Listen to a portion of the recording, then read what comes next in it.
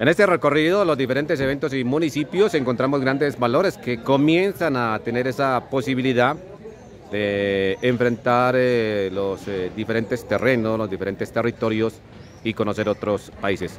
En un instante ya tendremos un invitado aquí para nuestros espacios en Bacatá, Estéreo, Impacto Deportivo y en Construyendo Ciudad, Bogotá, Región y la cara del Ciclismo en emisora punto .5 de Jorge Barón. Ya lo haremos en un instante con él. Seguimos con Julián eh, Barreto. Melena, saludarlo Julián, bienvenido. Muchas gracias, Merced. ¿Cómo están?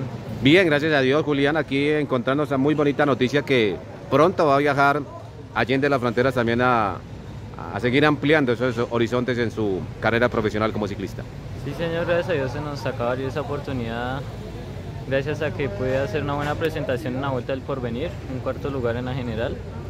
Pues eso me ha abierto la puerta de ir a Europa a presentarme allá y pues espero que en esos cuatro meses que voy a estar allá pueda, me pueda ir bien o el tiempo que esté ahí pueda mostrarme para a ver si puedo consagrarme ya en el ciclismo. ¿En qué parte va a estar exactamente, Julián? Voy a ir a, Italia. se interesa un equipo italiano en mí y pues ya estamos a puertas de viajar. ¿Es de una familia ciclística? Hábleme de la familia justamente, Julián. Bueno, pues, eh, pues no es familia, sino pues los taleros nos han ayudado mucho. Pues sí, es una familia de gran trayecto, ciclístico y han eh, conseguido grandes triunfos. Pero pues sí, ellos en mi comienzo en el ciclismo ellos me apoyaron mucho con ahí a las carreras y con consejos. Pues sí han sido, gran, han sido parte importante de mi proceso. Y también es de la parte de la familia ciclística, del papá, de la mamá, que les ha gustado estar entrelazados con el tema de las bielas, de los pedales, de, eh, las caramañolas y demás, ¿no? Sí, sí, señor, ellos, ellos están siempre al pendiente de mí, eh, siempre la mamá que juega un papel importante por los... No sabe uno cómo está en el papel, cuál es el papel de la mamá cuando lo ve a uno correr, pero igual ellos sí siempre son los que a uno lo apoyan sin importar el resultado. Lo importante es que uno esté bien y pues eso es lo importante. Hábleme de esa hoja de vida suya, Julián. Y pues la verdad yo el año pasado, yo a mediados de año antes de entrar a, mi equipo AMPRO, yo no tenía, pues sí tenía pensado, pero no me imaginaba que fuera a correr la vuelta al porvenir. Pues debido a que pues yo corría de vez en cuando, carreras por allá cada dos meses de un día y pues no figuraba muy bien. Y pues gracias a Dios me, pude preparar bien antes de saltar por venir con la clásica de Napoima y después con la clásica Rubén Darío Gómez que me ayudaron para, para ir a la vuelta al porvenir en mejor forma y en la primera etapa pues era una cronoescalada y me pude meter ahí en, la disputa de la carrera y pues ahí me mantuve.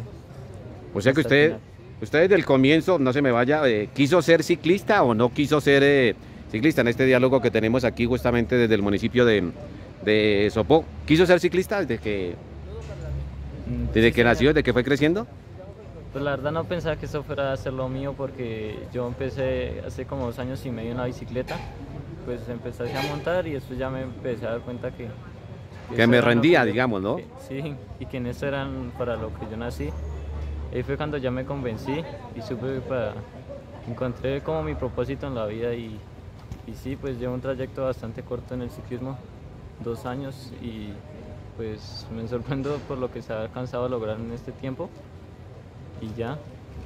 Eh, ¿La familia cómo está integrada? ¿Papá, mamá, nombres? Sí, pues yo vivo con mis dos papás y mi mamá Elisa, mi papá Vicente y mis dos hermanas Sofía y Laura. Vivimos los cinco. Que lo apoyan a usted en todo lo de ciclismo, ¿no? Sí, sí, señor, me, apoyan mucho. Usted es un corredor menudito, ¿cuánto tiene de estatura? 1,67. ¿Y de peso? 50 kilos. Es un pinta de escalador entonces, ¿no? Sí, señor, siempre me mantengo en ese rango de peso. Puedo subir, pero hago así un esfuerzo y ya vuelvo a caer en los 50. Eh, ¿Qué tiene que trabajar justamente para ir superando esas metas? Eh, bueno, yo creo que mejorar mucho la técnica. Siento que todavía me siento como muy rígido en la bicicleta. Para pues sortear caídas y todas esas cosas hay que estar, tener buena técnica, hacer los descensos a tope como se hacen en Europa y también mejorar la potencia para andar en el plan, que me dicen que en Europa siempre se anda a, tope en el plan. ¿Sus profesores cuáles han sido? Mm, bueno, pues la verdad yo empecé al principio solo, por mm. cuenta mía, y pues los consejos que me dan ciclistas veteranos que me decían cómo entrenar y eso. Y después ya, pues gracias a Dios se me abrió la, la puerta en el equipo del profesor John Sergio, pues sí me, me ayudó a descubrir el mayor potencial de mi talento y ahí pues sí fue donde pude, pude ver mi potencial bien, bien, en el equipo con el profesor John Sergio. Listo, y hay una muy buena familia también ahí acompañándolos, ¿no? Todos del ciclismo. ¿Cómo le pareció la valida aquí de la vuelta? Muy bien, sí, es muy bonito que acá del pueblo ya han salido el- el- la vuelta al porvenir, la vuelta al Colombia y, y ahora la vuelta a la juventud y pues es bonito. También sería bueno que, que llegara una etapa acá. Eso está bien. Llegar aquí hemos estado en Cundinamarca, allí en el alto del, eh, del Pionono. ¿Nacido en dónde? ¿Nacido en Sopó? ¿En qué fecha? En Gama, Cundinamarca. Ah, usted es de Gama, Cundinamarca. Sí, señor. Sí, Hace poco le dieron una, una bicicleta, ¿no fue en la gobernación de Cundinamarca? ¿Le dieron fue a usted o a quién? No, fue a Santiago Garzón. Sí, Él quedó creo que segundo en la vuelta al porvenir hace tres o dos años.